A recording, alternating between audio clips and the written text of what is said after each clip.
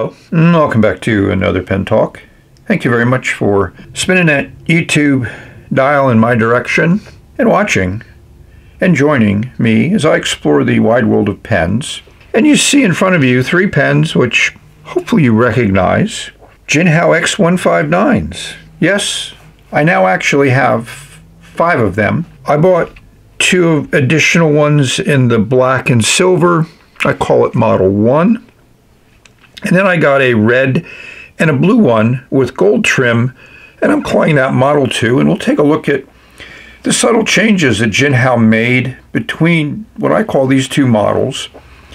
And I'm impressed with some of the changes that they've made. It's interesting to watch a pen evolve, and I'm very happy to be fortunate enough to be able to explore, expand, and put them into a collection. Who knows, a hundred years from now, someone unearths my time capsule, they'll go, hmm, interesting series of pens. Who knows? But I digress. Let's take a little bit of a closer look. The blue color seems to be coming across much more of a of a blue color than it does to my eyes. To my eyes, it's a, a dark blue. And the red is just a nice red. They pick some really good colors, I think.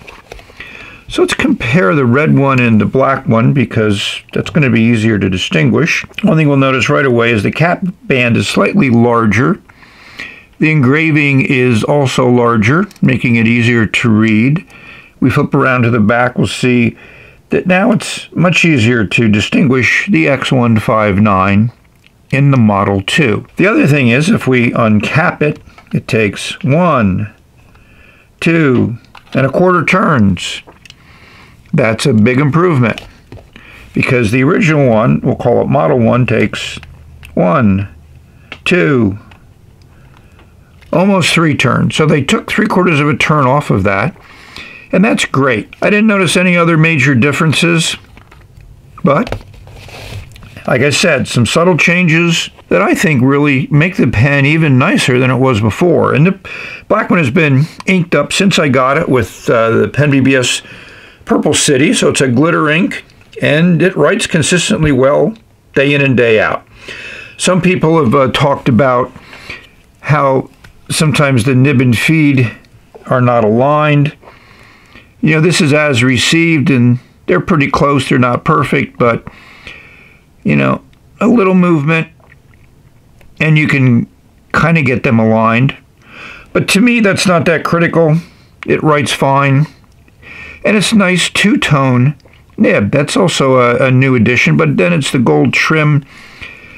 But it still gives the pen a little bit more of a classy upscale look than the monotone silver tone nib in the original version. So you may say that's a nice looking dark red in the X159 Model 2. And I'll say that the Chinese pen makers have been kind of on a roll on a very nice red. Here's the Jinhao 80. And here's the Majohn P136, which is even a darker more to me interesting red. You know, it's just a, a nice play on the color. You got gold trim, silver trim, gold trim, so you get to see the variety that is available. So since it's a short video, let's do some writing. I've read uh, a number of comments, but they are in the minority, about people not liking how this pen writes. But I like it, and so do a lot of other people. And when I went to the Pelikan Hub, everybody who wrote with it enjoyed the pen. And to me, that's a good sign. Fits great in the hand. That number 8 nib really complements the size of the pen. Yeah, the two-tone one really looks nice. And I have a ink in here which is not the easiest and safest ink to use, and it's worked very, very well. I don't know whether you can see if there's any... Yeah, there's some glitter there stuck on the feed. You know, a lot of people don't like glitter ink because of that, but hey, it's fine with me because I enjoy the way it looks on paper.